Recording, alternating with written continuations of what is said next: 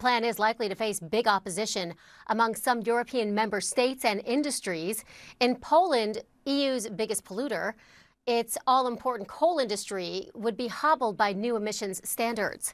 Carmakers in Germany would be forced to rein in their emissions by more than they've already committed to. Shipping, crucial to Denmark's economy, would face new fines for polluting. Joining us now from Denmark is the da Danish Climate and Energy Minister, Dan Jørgensen. Thanks so much for your time today. Sure. You're welcome.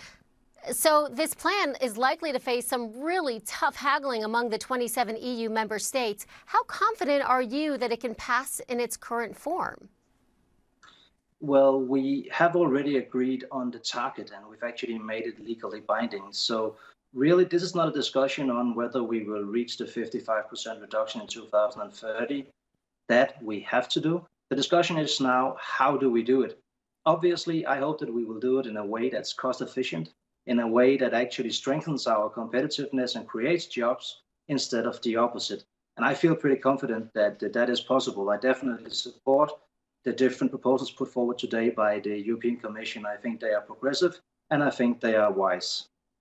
And so now you're pivoting to how to do it. So if you look at, you know, for emissions in sectors like transportation, residential, commercial building, a big barrier there is that these cannot be changed on a dime let's say, making those 2030 targets a very tough reach, right? Well, it is going to be difficult. On the other hand, uh, a country like my own has already for decades shown that you can make a green transformation in a way that's actually beneficial for your economy. So, for instance, using more renewables. If we look at uh, offshore wind, for instance, that used to be a very expensive way of creating energy. Today, it competes with coal and nuclear power almost everywhere on the planet. So for the Commission today to propose that we have a much higher target, binding target on renewable energy is, I think, a very good way to go about it.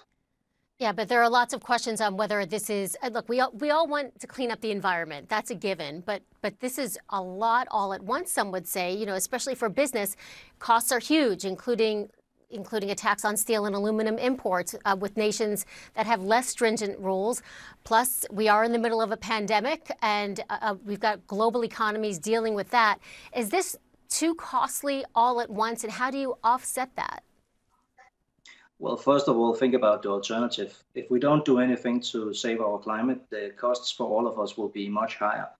Having said that, if we just look at the investments that we need here, yes, they are big, but it is investments and it will make our societies better. My own country, we've decided to reduce not by 55%, which is the target of the EU, but by 70%. And we don't plan on doing this in a way that will cost us jobs and competitiveness. Actually, we plan on doing it in a way that will do the opposite. What about the prospect of possibly hurting trade relationships by punishing other countries for having softer environmental rules? How concerned are you maybe about hurting trade relationships with Russia, China, even the United States? Well, I am concerned about that, obviously, because free trade globally is a good thing. On the other hand, we need to find a way of solving the problem that if a country or a group of countries like the EU uh, regulates its industry and thereby increases the cost of production, that the production then just moves to other parts of the world. I mean, that wouldn't be fair and it definitely wouldn't help the climate. So what we're proposing now is to find a way to say, okay, if you're producing cement or steel or concrete and you uh, are put in a situation where your expenses increase, then to make sure that you're not outcompeted by, for instance, Chinese industry that doesn't have the same expenses, we put a tax on the products from China, for instance.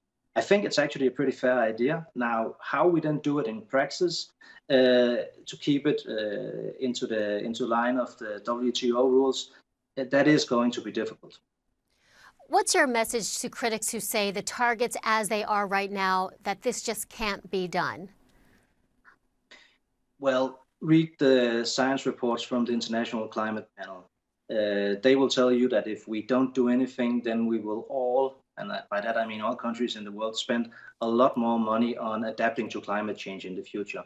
Also, look at the International Energy Agency. They've just put forward a roadmap to show us that these transformations can actually be done and they can be done in a way that will be a growth strategy. as opposed to a strategy that will hurt our competitiveness. Okay, Dan Jørgensen, grateful for your time today. Thank you.